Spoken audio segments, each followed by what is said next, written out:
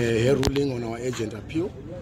Uh, effectively, what she has done is to dismiss the appeal against the police prohibition or police ban of the Triple C rally.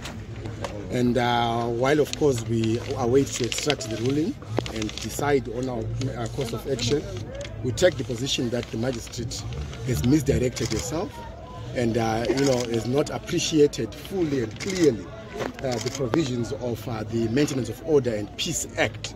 Uh, you know, the, the, the, the, contention by the court is that we should have given uh, the police time or the regulating authority time to do consultative processes. She makes reference to five days, and yet the rally was today. So, you know, it, it, it, it boggles the mind, if I'm to borrow the words of the uh, for the State for, for the Police, boggles the mind why the magistrate would suggest that we should have given five days to the police when this matter was urgent, uh, as the rally was today.